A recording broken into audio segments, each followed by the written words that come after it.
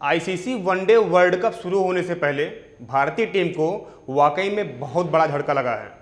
जी हाँ स्वागत है आपका खेल गड्ढा में और मैं हूँ आपके साथ Sudeep Rajput. ICC one day world cup 2023 के बीच में भारतीय क्रिकेट टीम के लिए एक बुरी खबर सामने आ रही है। डेंगू से जूझ रहे स्टार ओपनर शुभमन गिल अब अफ़गानिस्तान के खिलाफ दूसरा मैच नहीं खेल पाएँगे। यह जानकारी भारतीय क्रिकेट कंट्रोल बोर्ड यानी कि बीसीसीआई ने दी है। बता दें कि वर्ल्ड कप में भारतीय टीम ने अपना पहला मुकाबला 8 अक्टूबर को ऑस्ट्रेलिया के खिलाफ खेला था। इस मैच में टीम ने छः विकेट से जीत दर्ज की।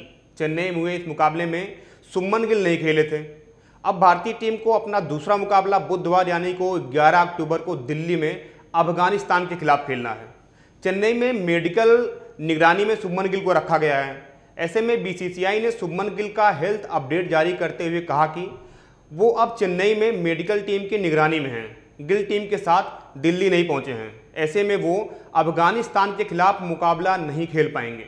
हालाँकि इसके बाद भारतीय टीम को अपना तीसरा मैच पाकिस्तान के खिलाफ खेलना है, जो कि 14 अक्टूबर को अहमदाबाद में खेलना है। और आप सबको पता है कि अहमदाबाद में सुमन गिल का रिकॉर्ड कितना बेहतरीन है।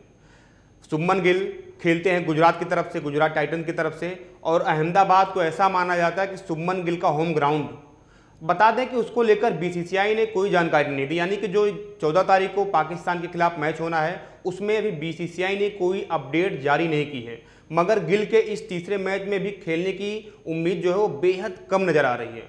बीसीसीआई ने बताया कि सुमन गिल अभी रिकवर कर रहे हैं। बोर्ड ने कहा कि भारतीय टीम स्टार बल्लेबाज सुमन गिल टीम के साथ दिल्ली नहीं पहुँचे हैं। अगर बात की जाए, ओपनिंग बल्लेबाजी ने वर्ल्ड कप 2023 में भारतीय टीम के लिए चेन्नई में पहला मैच भी खेला। वहीं सुमन गिल इस टीम से बाहर रहे। अब दिल्ली में होने वाले अफ़गानिस्तान के खिलाफ दूसरे मैच में भी वो दिल्ली नहीं आएँगे, यानी कि टीम के साथ नहीं जुड़ेंगे, वो मैच नहीं खेलेंगे। गिल चेन्नई में ही रह सकते हैं और मेडिकल टीम की निगरानी में हैं। गिल की जगह ईशान किशन को मौका मिलेगा, बिल्कुल आपने सही सुना, जिस तरीके से पहले मैच में, यानी कि जो ऑस्ट्रेलिया के बीच मैच हुआ, उसमें ईशान किशन को मौका मिला, लेकिन वो ईशान किशन अपने मौके को पूरी तरीके से भुना नहीं पाए और मात्र शून्य रन पर आउट हो गए। बता दें कि 6 अक्टूबर को ही यह जानकारी सामने आई थी कि सुमन गिल का डेंगू टेस्ट पॉजिटिव आया है।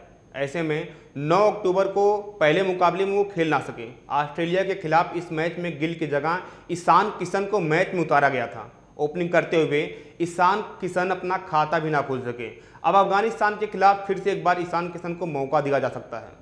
अगर बात की जाए, जिस तरीके से सुमन गिल इस समय बेहतरीन फॉर्म में चल रहे हैं, हम उनके अगर आंकड़ों पर नज़र डालें तो सुमन गिल ने 35 वनडे खेले हैं।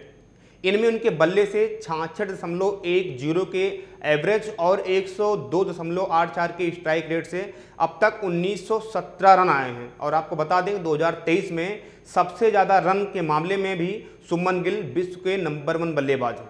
ऐसे में कई कयास लगाए जा रहे थे, अगर वर्ल्ड कप में सुमन गिल खेलते हैं तो हो सकता है वो बाबा राजन के रिकॉर्ड को तोड़कर विश्व के नंबर वन बल्लेबाज बन सकते हैं। अगर बात की जाए वहीं उनके नाम वनडे में छः शतक और नौ अर्धशतक हैं। ऐसे में वनडे में उनका टीम में होना बेहद ज़रूरी है। वहीं टी ट्वेंटी इंटरनेशनल में सुमन गिल ने 11 मैच में तीस दशमलव चार ज़ीरो के एवरेज से 304 रन बनाए हैं। वहीं 18 टेस्ट की 33 पारियों में गिल ने बत्तीस दशमलव दो ज़ीरो के एवरेज से नौ रन बनाए हैं। फ़िलहाल जो 14 अक्टूबर को अहमदाबाद मैच खेले जाने वाला है, उसमें हम सभी को बीसीसीआई के फैसले का इंतज़ार करना चाहिए। वर्ल्ड कप की, हर एक मैच की, हर एक अपडेट को न्यूज़ वर्ल्ड इंडिया आपके पास पहुंचाएगा। आप देखते रहिए न्यूज़ वर्ल्ड इंडिया। धन्यवाद।